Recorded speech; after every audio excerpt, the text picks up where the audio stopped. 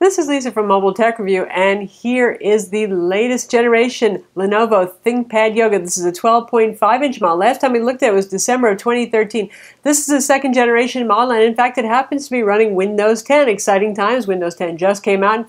Now PCs are shipping with it, and as, as you'll discover here, uh, most manufacturers they're not doing a hardware refresh because there's no new hardware out there. So they're just putting windows 10 on it instead and we're going to see what it looks like right here. And what's changed with the second generation ThinkPad Yoga 12.5 we're going to look at it now. So here it is the second generation of the Lenovo ThinkPad Yoga 12 this is a convertible laptop with pen that we liked quite a lot when we reviewed it oh, about a year and a half ago or so now. And Lenovo has refreshed it finally with second generation internals. In this case, that means going up to Intel 5th generation Broadwell CPUs inside. Now, not a lot else has changed here, so we're not going to do a very long and drawn out review for this one. Pretty much everything we said for the, in the first generation still holds true here. You just get the updated internals, and of course, now you'll be able to get it with Windows 10 pre-installed. Or if you already have one, it's real easy just to download and install Windows 10. All the drivers and stuff are in place. It's working pretty well. What this is known for is the 360 degree hinge and it has the lift and lock keyboard unlike some of the yogas that are for consumers uh, like the Yoga 3 Pro, the Yoga 2 Pro. This one actually has a keyboard where see the keys retract. They go flat, they go flush, they're not sticking up anymore, they don't move. Trackpad locks, so it doesn't feel squirrely on your fingers. So that's back again from the first generation. It's still certainly a good idea if you're going to have your keys exposed. At least get them out of the way. It's harder to accidentally tear them off. It doesn't feel so weird, that sort of thing. The lift and lock mechanism adds a little thickness and weight, but at 0.74 inches, it's not exactly what we would call thick. In fact, it's fairly slim. And it weighs 3.48 pounds. Call it three and a half pounds. So not too bad for a 12.5 inch Ultrabook. So yeah, 12.5 inch, not the usual 13.3 inch display on this guy. So for those of you who find 13.3 just as small as you can stand to go, keep that in mind.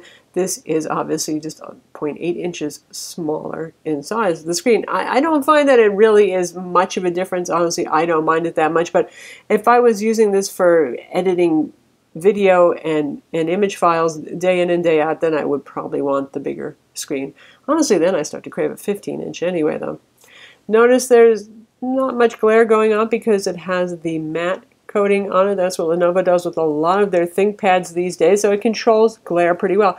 It also measures 372 nits of brightness. Now, this is the full HD model with the Wacom pen option. So there's a 1366 by 768 for less money, but we're talking about the full HD model here. And if you order from Lenovo's website, then if you get full HD, you get the pen, which lives in a little silo in the corner, just like last generation, with a little red on the top. This one doesn't have the button like some Wacom pens, but you can use Wacom pens for tablet PCs that do have the button if you wish, and if you want something a little bit bigger, because this is kind of teeny, not exactly toothpicky, but small. And it does have a single button on the side right over here. Pressure sensitivity, palm rejection, you get all that stuff with the Wacom pen. And it, they're one of the oldest manufacturers of active digitizers and pens for laptops. So they're pretty well established, shall we say. Drivers are in good order. Our high-end model costs around $1,500. It does start around $880. For $880, you get a Core i3, 4 gigs of RAM, and a 500 gig spinning hard drive, and that 1366 by 768 display that supports touch, but not the pen. Our model is pretty well decked out. Core i5-5300U instead of the 4200U. A minor difference there. It's 2.3 gigahertz. Again, Intel Broadwell 5th generation. Intel HD 5500 graphics, integrated graphics for all models of this.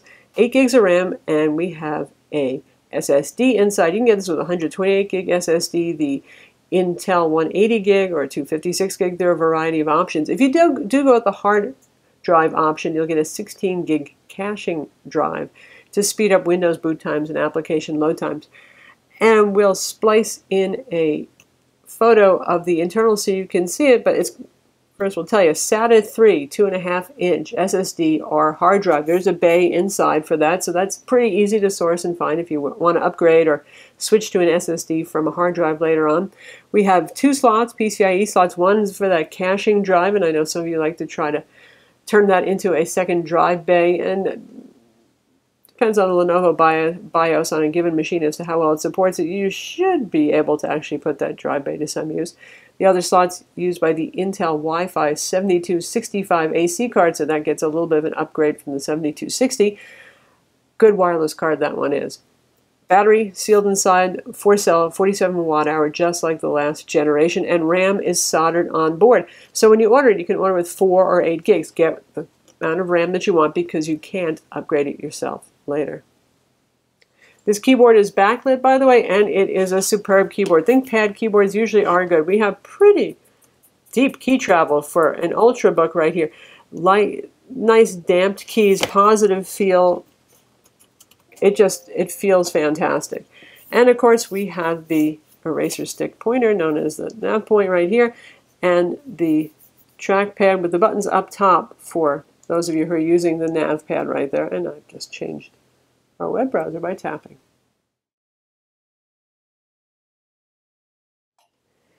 And running Windows 10 here, you can see we still have our usual fairly full-featured ThinkPad trackpad driver settings right here. You've got control over your clicking, your scrolling, your gestures, your advanced stuff right there. So all that goodness is still here. We also have a Wacom control panel for calibrating the pen to the display. Lenovo ThinkVantage, Lenovo microphone, the usual stuff that you would expect to see on a Lenovo laptop.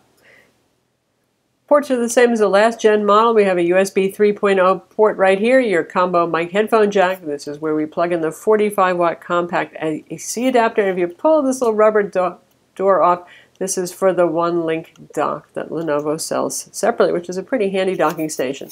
Same beefy big hinges on the back, and this is your ventilation. And on this side, another USB 3.0 port. We have a mini HDMI port, SD card slot, rotation lock, volume controls, and that's your power button right there. So in case you are using it in tablet mode, presentation mode, tent mode, what have you, you still have access to those buttons. And once again, the pen lives in the silo right over here. To open this up and perform surgery if you want to do upgrades or eventually replace the battery if you feel that it's wearing out, it's pretty easy. Just standard Phillips head screws around the edges over here. Undo those and then work your fingernail around the joint and you can pop off the bottom and have access to those internals that we showed you. Nominally, obviously, the battery is sealed inside since you have to undo screws and take off the cover to get to it. It's not one of those ones that you pop out. If you're interested in that, Lenovo has the ThinkPad X250, also 12.5 inch, a bit thicker, very good keyboard, also no pen option with that one, but otherwise pretty much a similar animal for those of you who are looking for just a traditional laptop design that opens up flat but doesn't do these neat tricks like our yoga does. It yogas. Goes into presentation mode, or you can flip it and use it in tent mode, or you can flatten it out and use it as a tablet. So since we've got Windows 10 here, we do not have the main live tile interface, at least not we're in desktop mode. It does support continuum, so if you rotate it into a different position, you can have it either automatically change to tablet-friendly mode or ask you every time that you switch. And our start menu is back right there. So pretty friendly, pretty easy to use, less scary probably for those of you who are still using Windows 7 right there. So let's flip her over and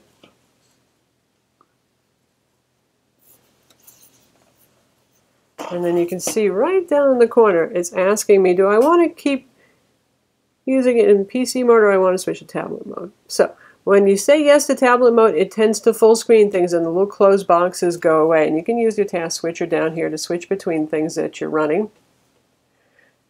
And when you move it out of this mode, you can put it back into desktop mode automatically. So when you put it into tablet or presentation mode, you get the idea. And obviously our anti-glare screen picks up some glare. You can see it's picking it up right now. Speaking of the display, brightness is great. Color, mm, well, not too impressive right there. As you can see, Adobe RGB, we only have 52% of coverage. And if we go over to our sRGB, we have 69% of sRGB compared to the 95 to 100% we see on a lot of other Ultrabooks in this price range. The ThinkPad Yoga has never gotten a really high color gamut display. That doesn't mean it isn't pleasing to look at. It certainly is. Colors look nice and vibrant here, and it's enjoyable for watching movies and all that sort of thing. But for those of you who are doing professional graphics work, which would be a temptation given the pen right here, I, you're not going to see the full color gamut. For those of you who are interested in this kind of design with a pen and you want the higher color gamut, you might consider the HP Spectre X360. And for those of you who don't know the HP Spectre X360 is, here it is, 13.3 inch Ultrabook, also with pen, though the pen is sold separately. If you're interested in this SmackDown, just put it in the comments and we can do that. So about benchmarks? Again, this is the Core i5-5300U Broadwell latest generation CPU clocked at 2.3 gigahertz, turbo boost to 2.9 gigahertz, and you can see our PCMark 7 score right there, 5308, which is pretty darn good actually for a Core i5, and that was benchmarked under Windows 10. Geekbench 3, 3221 for the single core test, 6112 for the multi-core test. Again, that's a strong showing. PCMark 8 home, it did 2801, which again, par for the course for one of these machines. That's pretty much what you would expect. And it computed prime in 18 seconds using wPrime. So it's your typical Core i5 machine that's good for general purpose use. If you're taking it for school, for example, thinking about getting yourself a machine to get ready for college, perfect for MS Office, photo editing, some occasional video editing, uh, light gaming, you know, all these Ultrabooks with integrated graphics, they are not going to be playing Battlefield 4 on high settings. Sorry, folks, but for some games, particularly older games, you, will do well at full 1920 by 1080 resolution at low to medium settings.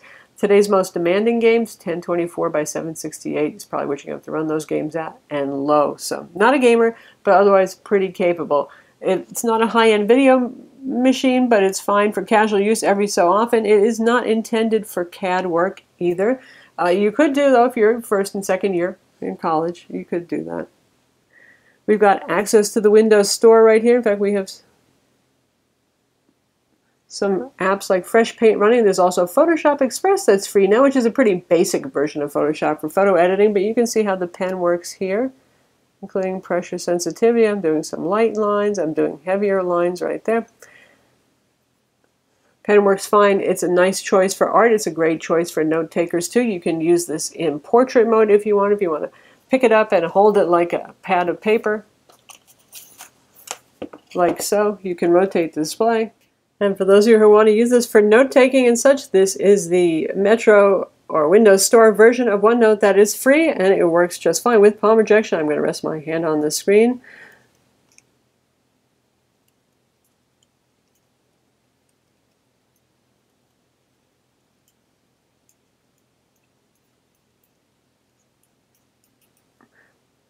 Works just fine. Of course, you can use things like handwriting recognition with this program if you want. You can doodle, you can do equations, all that sort of thing.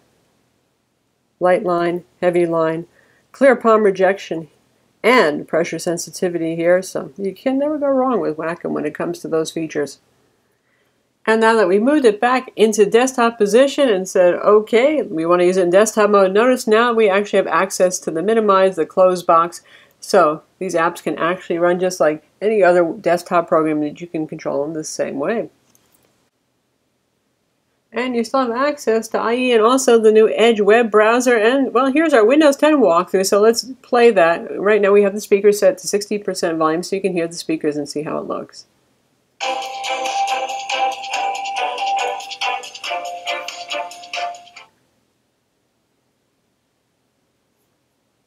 This is Lisa from Mobile Tech Review, and this is Windows 60% 10. Right this now. is the final version here. Those of us who were in the Windows Insider program got to try it out early, and we're getting the final build about two weeks before the rest of the world will be able to get it. So at 90% volume, it's funny, it doesn't get super duper loud compared to 60%, but at 60% it actually is already fairly loud. So those are pretty capable speakers. And Lenovo's website, they mentioned optional higher quality JBL speakers. So it, when I went through the, the build process to check that out, I didn't actually see that as a selectable option. So that part's a little bit of a mystery to me, but certainly adequate for those times when you watch, want to watch a movie or watch a video here. Works just fine. Since we have the same battery that we had for the first generation Yoga 12 that we reviewed, well, expect a similar battery life. We do have the Intel 5th generation Broadwell CPU, which brings somewhat better battery life. And in our last generation model, we said we averaged about six and a half hours. And that, Windows 10 is actually pretty power efficient too, I'd say. Uh, between Broadwell in here and, and Windows 10, so far with brightness at the 50%, Wi-Fi on, and a mix of productivity kind of work and streaming a 45 minutes minute episode on Netflix, we actually came closer to seven hours now. So that's not bad. Six hours and 45 minutes, pretty solid there, sometimes hitting the seven hour mark. Not as long as the HP Spectre X360, but certainly decent and usable enough. And if you want to go crazy with power savings and set the display to be quite a bit dimmer, because this is a very bright display, 372 nits, you could do that and stretch battery life even farther. So when the we reviewed the first generation, it was a pretty unusual machine at the time and one of the few that did the yoga thing, the 360 degree, and had the pen and was pretty portable and light and durable. Now there's some competition. We have that Spectre X360 I mentioned, the Acer R13, a couple of other machines. How's the Yoga 12 looking now? Well, it's still looking pretty good, particularly if you really want one of the best keyboards available. If you like that matte display, which again, as you can see, isn't completely glare proof, and the usual rugged ThinkPad kind of bang it on the table and you don't even care design. Not bad, not bad at all.